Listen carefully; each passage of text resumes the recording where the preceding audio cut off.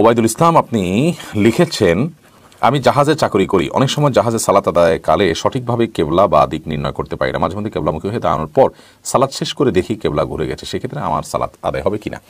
আপনি যেখানে থাকেন, কেবলামুখী আপনাকে সালাত আদায় করার চেষ্টা করতে হবে এবং সেটার জন্য কেবলা নিরূপণকারী যে সমস্ত উপায় আছে, সেগুলো অবলম্বন করবেন। জাহাজ চলমান অবস্থায় সালাতে দাঁড়িয়েছেন, এখন যদি জাহাজ ঘুরে যায়, কেবলার দিকে দাঁড়িয়েছেন, কিন্তু জাহাজ ঘুরে গেছে, তাহলে জাহাজ ঘুরে গেলে আপনিও তার সাথে সাথে কেবলার দিকে ঘুরে যাবেন।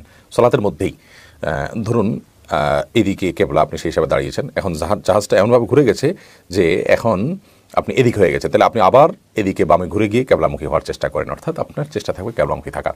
আর যদি এমন হয় যে কখন জাহাজ ঘুরছে বা আপনার কখন কেবলা মিস হয়েছে আপনি জানেন না, আপনি কেবলার দিকে শুরু করেছেন, পরবর্তীতে টের পেয়েছেন বা পরে জানতে পেরেছেন, তাহলে সেক্ষেত্রে আপনার নামাজ হয়ে যাবে। কিন্তু আপনি নামাজের মধ্যে যখন আপনি টের পাবেন যে কেবলার দিকটা ঘুরে যাচ্ছে, তাহলে সেক্ষেত্রে অবশ্যই আপনাকে নামাজরত অবস্থাতে আলতো করে ঘুরে যেতে হবে কেবলার দিকে। সুরাই ইয়াসমিন আপনি লিখেছেন আমার বয়স চব্বিশ কিন্তু আমার অনেকগুলো চুল পেকে গিয়েছে। সেগুলো তুলে ফেলা বা কালার করা যায় হবে কি? আহ, বোন সুরাইয়া প্রথম কথা হলো যে চুলের যে কালার এই কালারটা আপনি করতে পারেন কালো ছাড়া অন্য কোনো কালার। আজকাল চুল পেকে গেলে মেহেদির যে কালার হয়ে থাকে সেটা যেমন করা যেতে পারে তেমনিভাবে অনেকের চুল সাদা না হলেও চুল সাদা হলে মেহেদির কালার আপনি করতে পারেন। চুল সাদা হওয়া ছাড়াও অনেকে স্টাইলের অংশ হিসাবে মেহেদি কালার করে এবং দেখতে সুন্দর দেখায় সিল্কি দেখায়। তো আপনি এইভাবে যদি কালার করেন, সেটা আপনার জন্য জায়জ আছে। কারণ নবী করিম সাল্লাহ সাল্লাম বলেছেন গাই রুহাদা সেই ওজানি হুসাওয়া তোমরা তোমাদের সাদা চুলকে পরিবর্তন করে অন্য কালার দ্বারা তবে কালো বা ব্ল্যাক কালার অ্যাভয়েড করবে। এর পাশাপাশি সাদা চুল যেগুলো, পেকে যাওয়া চুল, সেগুলো তুলে ফেলা আমাদের স্বাস্থ্যের জন্য ভয়ঙ্কর, ক্ষতিকর। এ বিষয়ে আমাদের একটা বক্তব্য আছে এবং আজকের বিজ্ঞানও এ বিষয়ে আপনার একমত যে সাদা বা পাকা চুল, এটা মানুষের তুলে ফেলাটা তার জন্য নানা দিক থেকে ক্ষতিকর হতে পারে। তো সেজন্য এই কাজটি করা যাবে না। আর কালো কালার করা যাবে না, কারণ তাতে এক ধরনের বয়স লুকানোর প্রচেষ্টা থাকে। এখন কেউ প্রশ্ন রাখতে পারেন, তাহলে একজন তরুণ, তিনি তো আর বয়স লুকানোর কিছু নেই, তিনি আসলেই তরুণ।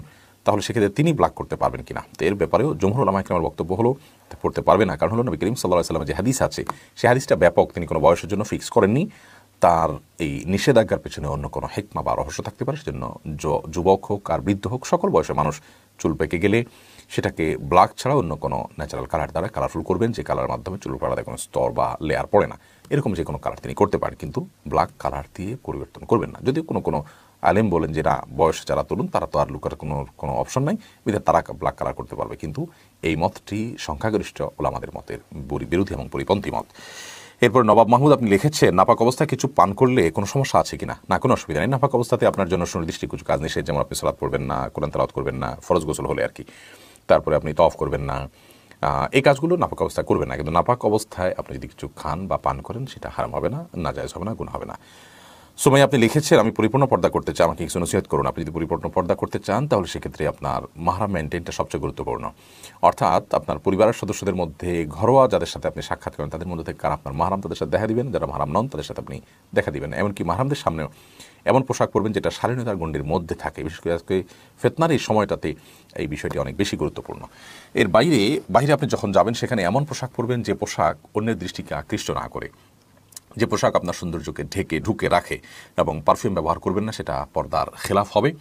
এবং আপনি আপনার পর্দার পোশাকের ক্ষেত্রেও লক্ষ্য রাখবেন যে পোশাকটা যেন ঢিলে ঢালা হয় পোশাকটা যেন আটোসাটো না হয় পোশাকটা যেন খুব জাঁকজমকপূর্ণ হয়, খুব না হয়, খুব কালারফুল যেন না হয়। সেখানে কারুকার্য যেন এত বেশি না থাকে যে ওইটার ফলে আপনার প্রতি অন্য দৃষ্টি অনেক বেশি আকৃষ্ট হয়।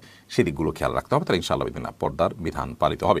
ঠিক একইভাবে কণ্ঠের পর্দাও আছে, অর্থাৎ পরপরের সাথে কথা বলার সময় কণ্ঠকে কোমল করার জন্য বিশেষ কোনো প্রচেষ্টা থাকবে